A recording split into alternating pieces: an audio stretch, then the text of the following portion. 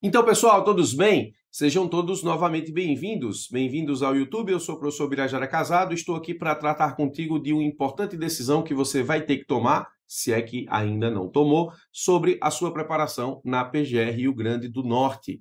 Essa é uma decisão que você vai ter que tomar racionalmente ou não.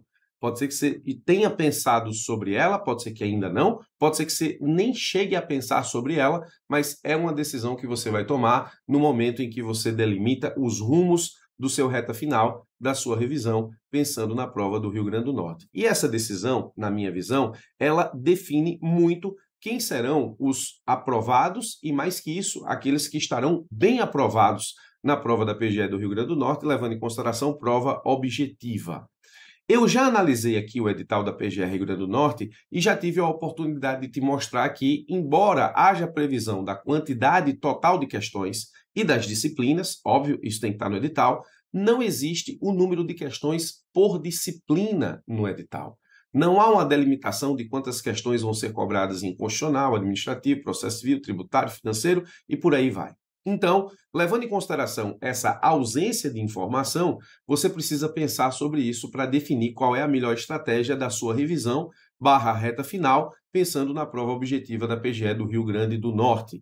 Bom, pesquisando sobre isso, que tipo de prova nós vamos enfrentar no que diz respeito à PGE Rio Grande do Norte, até para não nos assustarmos com o que aconteceu, por exemplo, com a PGE do Ceará, onde nós tínhamos lá uma quantidade muito grande de questões de penal e processo penal, coisa que não esperávamos, então eu saí à procura de pesquisar e buscar a informação sobre a proporcionalidade ou a provável proporcionalidade das questões do Rio Grande do Norte no que diz respeito ao seu concurso de procurador. E foi me dito por uma pessoa importante que a tendência é que exista uma manutenção, atenção a isso, uma manutenção das questões cobradas no último concurso em relação ao concurso atual, mas em termos de proporcionalidade da divisão das questões por disciplina. Em outras palavras, existe uma tendência de que a proporcionalidade da importância das disciplinas na distribuição do número de questões da prova objetiva do último concurso seja mantida para o concurso atual. E aí eu fiquei aqui a pensar sobre essa informação e fiz um quadro comparativo sobre aquilo que foi cobrado em termos de PGR Rio Grande do Norte, em termos proporcionais, número de questão por disciplina, distribuído por disciplinas, lá no concurso passado, 2013-2014, e aquilo que vem estabelecendo o CESP/SEBRASP em concursos semelhantes à PGR Rio Grande do Norte acerca da distribuição das questões por disciplina e encontrei dois cenários muito distintos e você precisa estabelecer a partir de agora um entendimento sobre esses cenários e você vai ter que tomar uma decisão sobre o que focar ou no que focar para a PGR Rio Grande do Norte acerca da importância das disciplinas na prova objetiva. Vou te explicar os cenários, fica aqui comigo até o final, vai ser importante para a sua preparação. Primeiro ponto, eu tenho aqui, PGR Rio Grande do Norte, uma análise comparativa entre as disciplinas do último concurso e do concurso atual. Então, todo mundo sabe, quem me conhece, quem me acompanha sabe, eu faço uma divisão das disciplinas por importância nos concursos de procuradoria. O núcleo duro da Procuradoria do Estado do Rio Grande do Norte no concurso atual tem constitucional, administrativo, processo civil, tributário e financeiro, mas financeiro é uma disciplina que não tinha no último concurso. No segundo escalão, civil, trabalho, processo trabalho, você mantém aí as três disciplinas do segundo escalão do concurso anterior para o atual. E no que diz respeito ao terceiro escalão, ambiental, previdenciário, são disciplinas que têm tanto no edital quanto no edital atual. Penal e processo penal são duas disciplinas ou um bloco de disciplinas que não está no último concurso, está no atual, por isso rachurado de forma diferente. Veja comigo que você tem aqui financeiro, penal e processo penal, como as disciplinas que foram adicionadas à PGR Rio Grande do Norte, levando em consideração o último concurso para o concurso atual. Então, acompanhe comigo, porque isso tem relevância no que diz respeito à distribuição das questões em termos de prova. O cenário 1 é justamente o cenário que chegou para mim. Professor, a tendência é que exista aí uma manutenção da distribuição das questões por importância de disciplina do último concurso para o concurso atual. Então, vamos lá, vamos fazer uma análise do último concurso para o concurso atual no que diz respeito à distribuição de questões, levando em consideração apenas PGR Rio Grande do Norte, prova anterior, prova atual. Núcleo duro, prova anterior, 20 questões é, de constitucional, 20 questões de administrativo, 20 questões de processo civil, 18 questões de direito tributário, zero questão de financeiro, não havia financeiro na prova anterior. Segundo escalão, 10 questões de civil, 4 questões de trabalho e processo de trabalho. Terceiro escalão, 4 questões de ambiental, 4 questões de previdenciário, zero questão de penal e processo penal, bloco de disciplinas que não tinha no edital anterior. Muito bem. Professor, fazendo uma adaptação da prova anterior para a prova atual, qual seria uma adaptação que melhor estabeleceria o cenário 1 na sua visão? Na minha visão, nós teríamos 20 questões de constitucional, 20 questões de administrativo, prova atual, 20 questões de processo civil, 10 questões de tributário. Então, 18 questões de tributário, eu sairia de 18 para 10.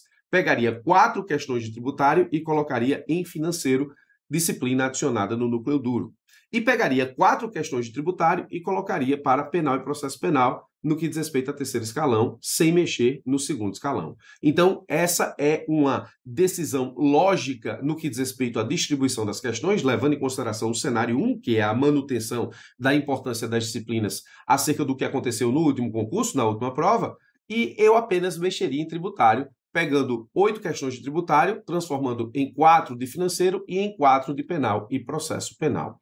Eu explico a razão da lógica dessa decisão e eu explico justamente com base naquilo que traz o edital atual. O edital atual, ele traz, enquanto disciplinas, é, as disciplinas consideradas de forma isolada ou as disciplinas consideradas de forma blocada.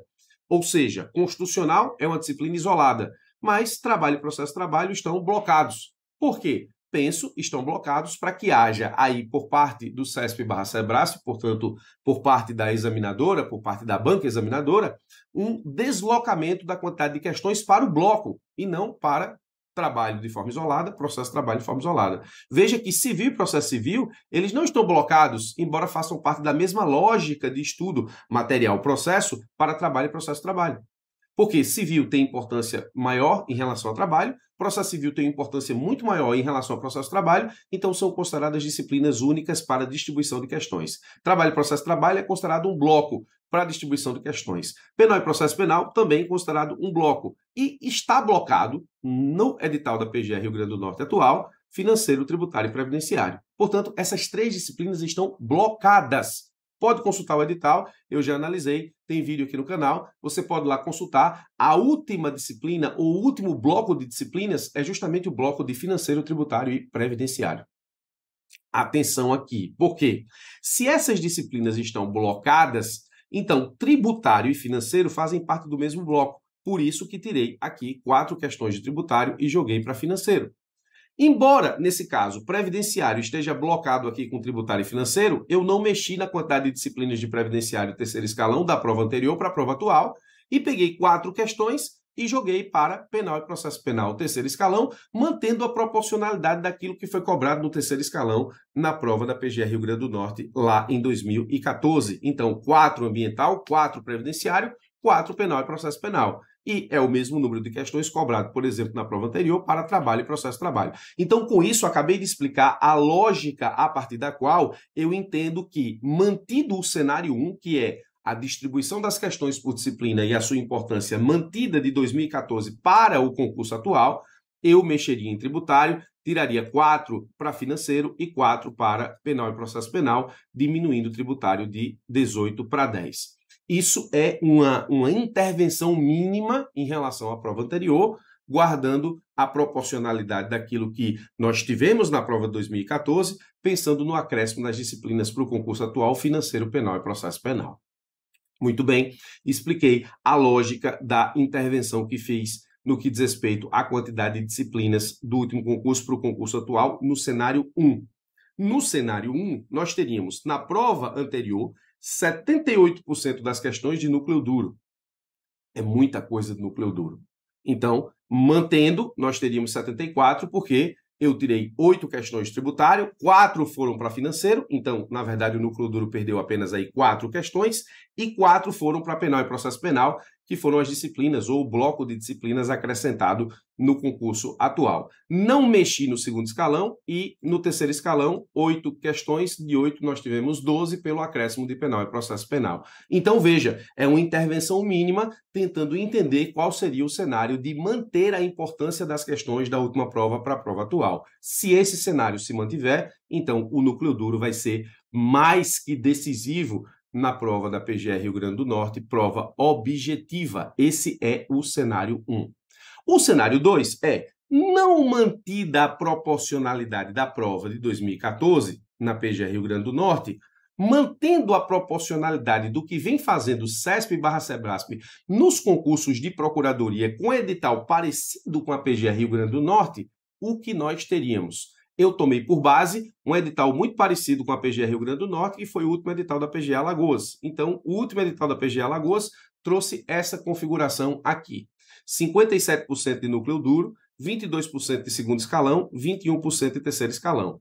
Nós temos praticamente todas as disciplinas que caem na PGA Rio Grande do Norte caindo na PGA Alagoas, ou que caíram na PGA Alagoas, com exceção aqui de destaque para empresarial, porque está destacado aqui lá no edital da PGA Alagoas e não está destacado da PGA Rio Grande do Norte, e nesse caso a ausência de penal e processo penal. Então, nós tivemos 12 questões de civil, de constitucional, perdão, núcleo duro, 12 questões de constitucional, 13 questões de administrativo, 11 questões de processo civil, 11 questões de tributário e 10 questões de financeiro. No segundo escalão, nós tivemos 11 questões civil barra empresarial, 11 questões de trabalho e processo de trabalho.